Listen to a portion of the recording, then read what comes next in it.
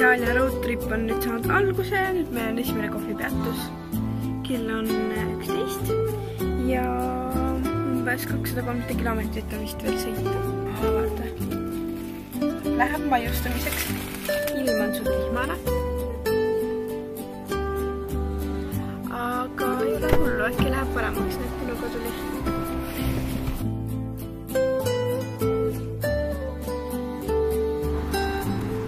värsked saiad. soojad. me jõudsime enda esimesse ööbimiskohta. Jaa. mine too. tšau.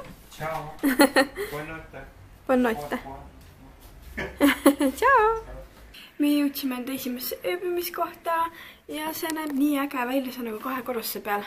et seal on nagu see köögiosa ja siin on magamistuba ehk siis selline voodi. ja siit saab siis välja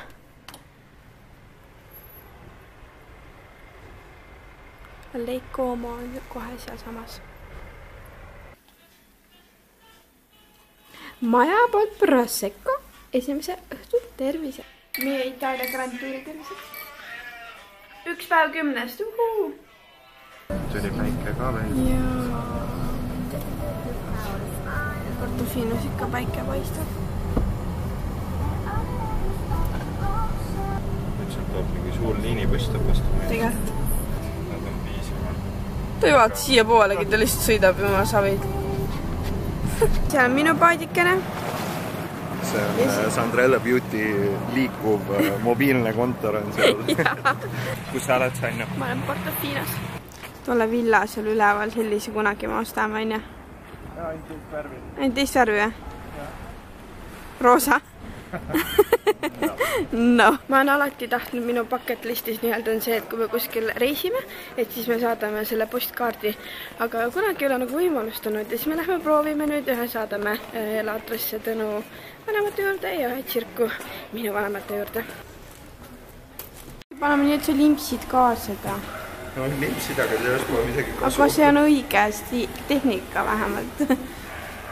ma filmin siin niimoodi, et Itaalia lipp jääb ka peale. Politsia lokale. päik, päikselis. kirjaveerkes.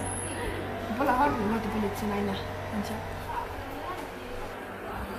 soojad tervitused päikselisest Portofinost Itaaliast. Sandra ja Tõnu.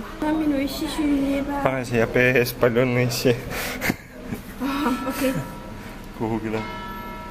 Esimene oktoober kaks tuhat kaheksateist. kuhu aadressi peab ka panema ju? kus see aadress? aadress pidigi siia minema, siia peab tekst minema. tegelikult ka või? paneme siia poole. see on see, kui esimest korda postkaarti kirjutad. näe, loodame, et läheb ikka kohale siis. jaa. Võiku peatus, Tõnu tegi need kaasa, pani armsasti saiakotti need. ja siis Tõnu hakkab vaatama meile nüüd ööbimist tänaseks õhtuks mis meil veel pole.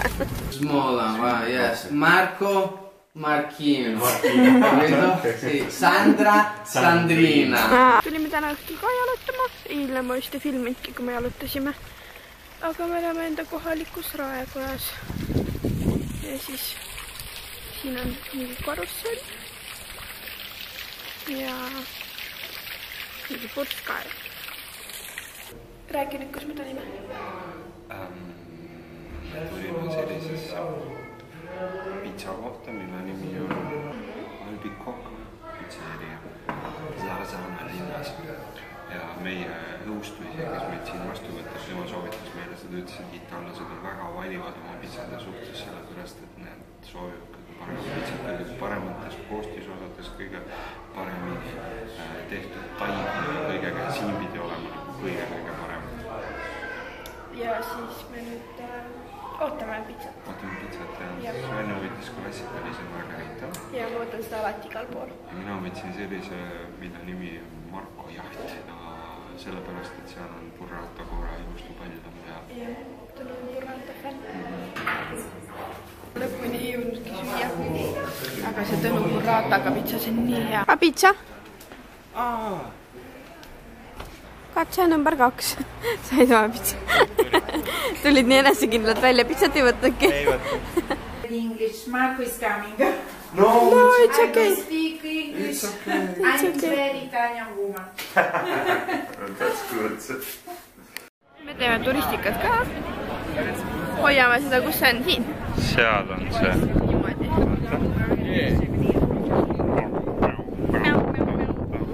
tegelikult me tulime siia vetsu otsima. ja me vetsu otsima ei saa ennast tagasi hoida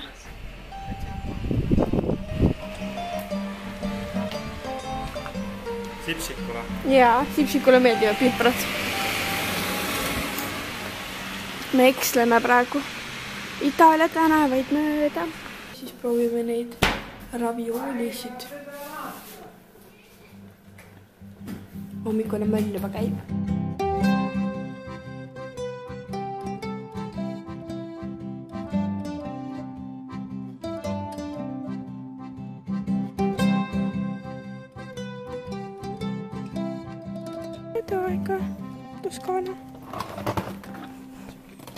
saime vautšerid ja siis sealt saab pirukat jah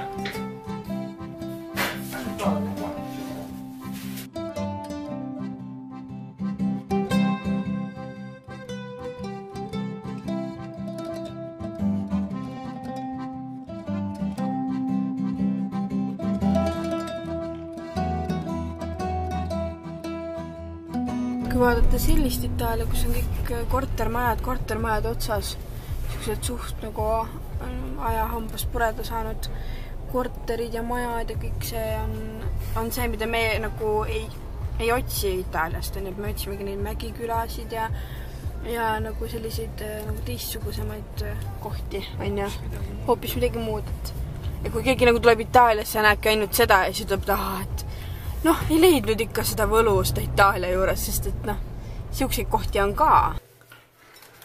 kohaliku kukepoe mingi. ta on vino frizzante, see tähendab seda, et ta ei käi lahti nagu šampust pauguga, vaid ta on väikse mu- mulliga vein. meie tänane vaade, õhtuvaade. me oleme kuuesaja meetri kõrgusel. Terve Amalfi rannik läheb siit nüüd, siit nüüd mööda seda, meil on vaade tervele Amalfi rannikule mm. mm. -hmm. mitte tervele Amalfile, vaid Amalfile siit Mm mm. ja -hmm. siis tervele järgmisele rannikule, mis läheb sinna nurka. Ahah. ehk siis siin on pisikene sihuke sopikene või lahekene Mm -hmm. ja siis me läheme tegelikult Amalfi ise on seal, Mm -hmm. sealpool. Sealpool. ja siis meie lähme Amalfisse ja sealt sõidame paadiga, sõidame Positano. Positano. ma Positanosse. juba nii homset päeva. What's wanker or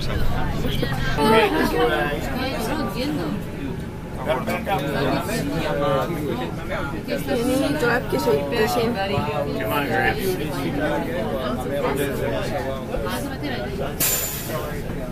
siin meile räägitakse?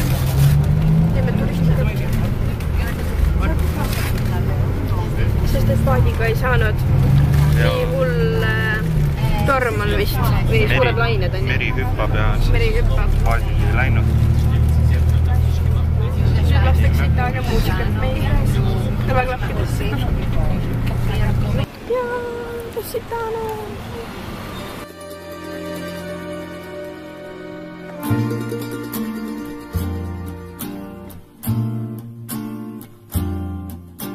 Ciao bello bella.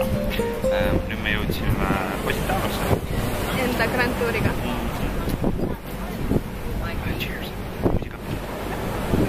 Seda kohta soovitati ka, kui ringi jalutate, et siis võtke siit jah. aga sa võtsid seda Aperoli või? alternatiiva ja aa, väga hea. meri on kuri, sellepärast ei saagi paadiga siia. muidu oleks üliäge olnud. jaa. aga bussiga oli ka lahe omaette kogemus. bussiga lasti ilusasti Itaalia muusikat kõrvaklappidesse ja siis räägiti, mis ümberringi toimub ja jaa. ega mõnsa. kui tuled hästi palju üles kuskilt ei tea, kust sa tuled, siis see võib osutuda valeks teeks. ja pead alla tagasi minema huh.. higi voolab. trepid ja trepid ja trepid huh.. Lähme mõned sammud ähm,. okei okay., läheb minna. pitsat sööma, hästi ilusa vaatega. tänavad. ja merd ka.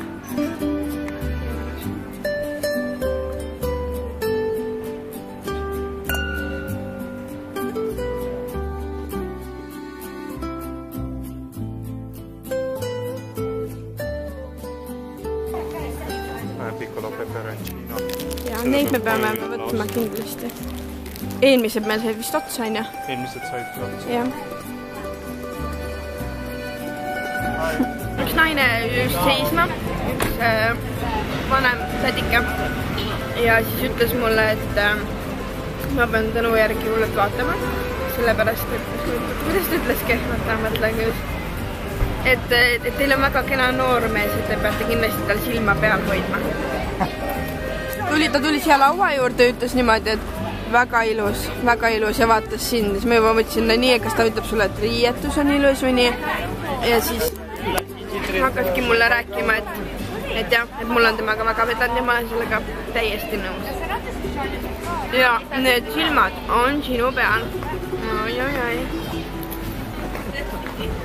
proovigu ainult keegi ära võtta. mitte keegi ei saa, see on ainult minu oma. mis teeme? bussi ootama. koju sõitma hakkama.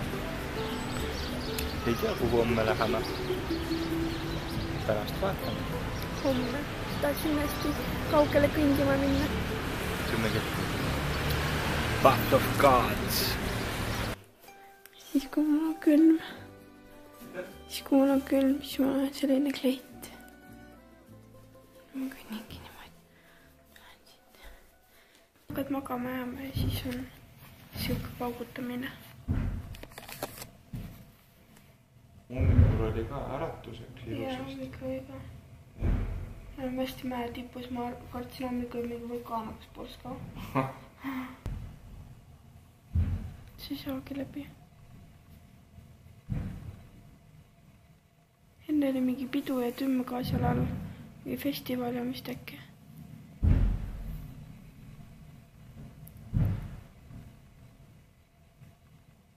Ei ole hullu, me just olime rõdul, et see oleks võinud siis nagu, jah. siis kui me toite tuleme, okei okay.. ööbimiskohast äraminek. ja nüüd sõitme jälle. mõnus koht oli see.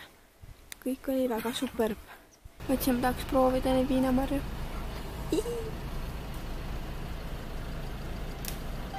oh, piip tuli. põgene, ruttu, ruttu põgene. vakusad on mm. -hmm. Mm.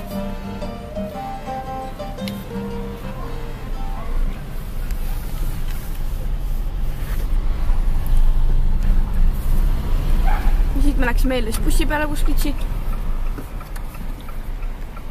ja otsisime siin eile õhtul poodi enda naabritega, poolakatega. Ma siis tänu lõhkus ühe klaasi ära seal baaris. see oli lihtsalt plastmassist oli klaas joogi letil ümber ja külmikul. ja siis läks katki.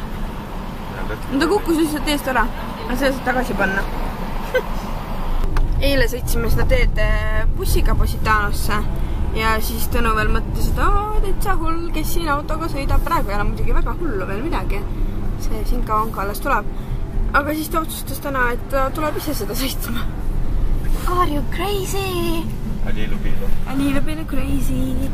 bussiga oli eile päris huvitav kogemus, eriti veel, kui teine buss vastu tuli, siis oli See nagu veel eriti. nädalavahetuse ööbimine näeb siis selline välja.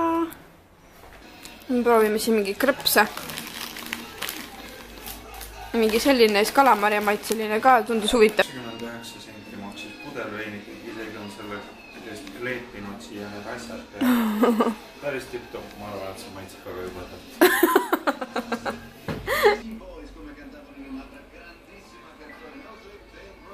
kuule, päris hea. väga tipp-topp. mis sa veel ostsid? marineeritud sibulat, balsamijäädikas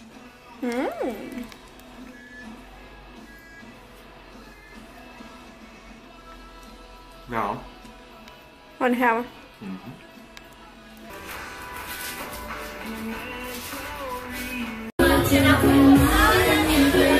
Kell on pool kaksteist jah, meil on siuke pidulik õhtusöök. noh, just jõime kokse kuskilt põõsataguses baaris.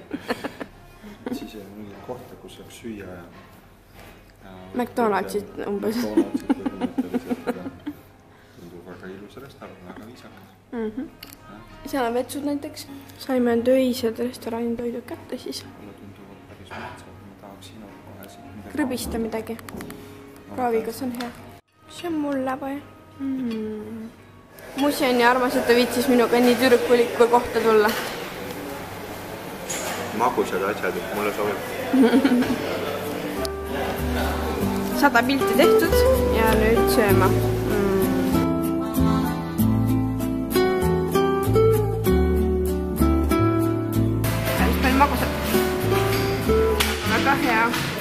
nii lahe koht. naljakas kõndida. ma oleks siia vastu kõndinud just. siin on ka peegel. ja siis siit kuskil läks ka veel peegel. tulime just äh, Rimini vanalinna vist on vanalinn see või linn või? uus või vana uus või vana? ja siis suht kõik kohad on kinni või kuidagi nagu elu ei toimu nagu alati igas linnas, kuhu me oleme praegu läinud. meil olime seal Manfredosse samamoodi. Mingi koht oli jumalast tühi ja järsku, kui sattusid sinna õigele tänavale, siis elu käis, aga nüüd me, aga nüüd me tulime siis siia vanalinna ja astusime ühte poodi ja see oli mingi Jaapani pood ja seal oli igast huvitavaid snäkke ja siis nüüd täna proovin, kuidas on. ei tundu vist väga hea. ta väga postik ei ole, aga mingi bambusvõrdseid vaata müüja just jooksis mööda siit. teate? pani oma putka kinni. Olen vütsikas oh.. Vau. Wow. ma ei tea, see on mingi salami või mingi snäkivorst. ma ei tea, mis pulk see on, millest see tehtud on. oh my god.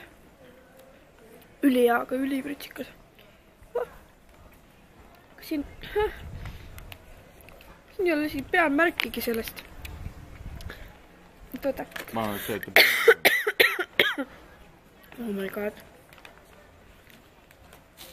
juhuh, päris karm. proovime midagi muud ka, mis, mis me veel ostsime uh,. see oli väga hull. see jook oli ülihea, magus. me nüüd hakkasime Jaapani neid, Jaapanisse lennupileteid vaatama. Et tuleb järgmine aasta vist ette võtta. leidsime inimesed. sumesumin. me jõudsime San Marinosse. sealt vist ei saa kuhugile praegu. miks? sa pead sealt vahelt läbi ronima. eile turnisid üle kohtade, kus ei tohtinud kõndida, nüüd täna oli see koht sinu jaoks keeruline. ja sealt alt me just tulime. Võttis aega kaks sekundit.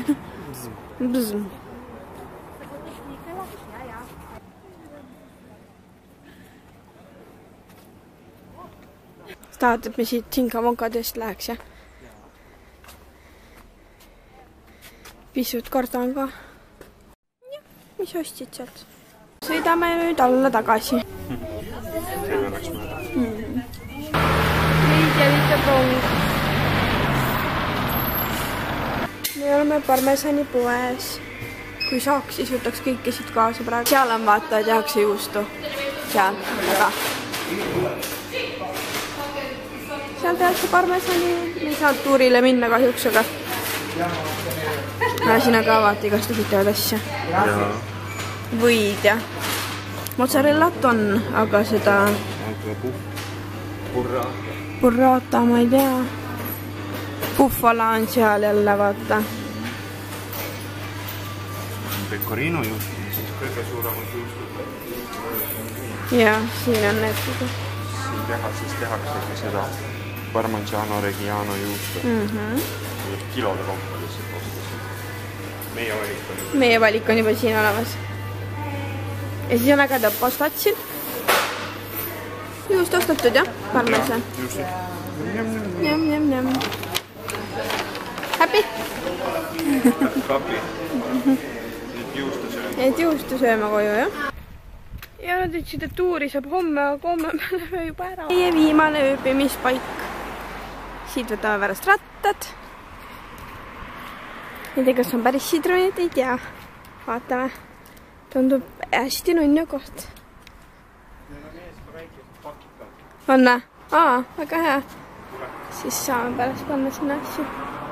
Väga armas ja meie viimane ööbimiskoht näeb välja selline, see on mega ilus. jõudsime La Sirmi, Sirmione, oli jah? Sirmijoonesse, Sirmione Karda, Karda järve äärde. oh, vaata seda.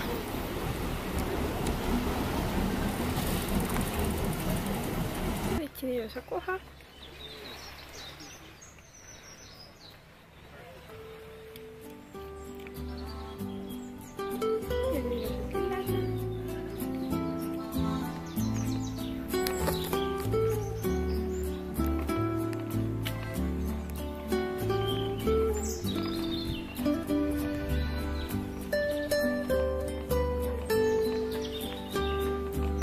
Ääres alustasime, teise ääres lõpetame. jah. Leikomaa ääres alustasime ja Karda. Karda, Karda ääres lõpetame. nii kahju on muidugi ära minna. kaks pool tuhat kilomeetrit kaks pool tuhat kilomeetrit on sõidetud. mööda Itaaliat.